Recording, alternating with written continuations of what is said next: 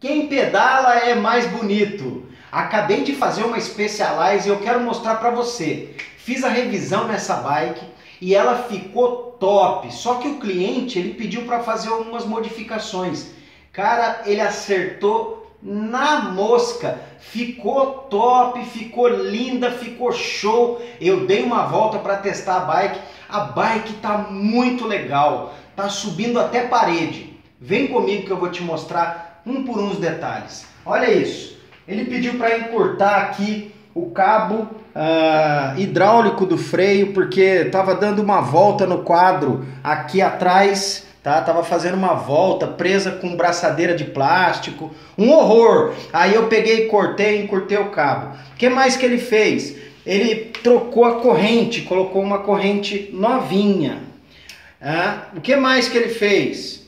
Ele trocou as roldanas, colocou rodana de rolamento, tá? Tirou aquela rodana Flintstones, que é aquela rodana que fica tendo muito atrito com o parafuso, e colocou rodana de rolamento. O que mais?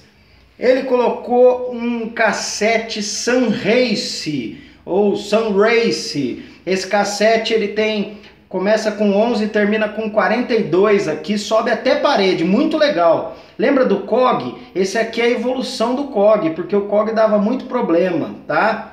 que mais? Desempenho do disco traseiro que a gente fez aí como cortesia grau na bike. que mais? Cabos, colocou aqui cabos uh, da Shimano, cabo original da Shimano foi colocado aqui e lá atrás no câmbio também, ó, cabo Shimano. E até aqui na, no controle da suspensão eu coloquei cabo Shimano. Tá show, tá indo rapidinho. Legal?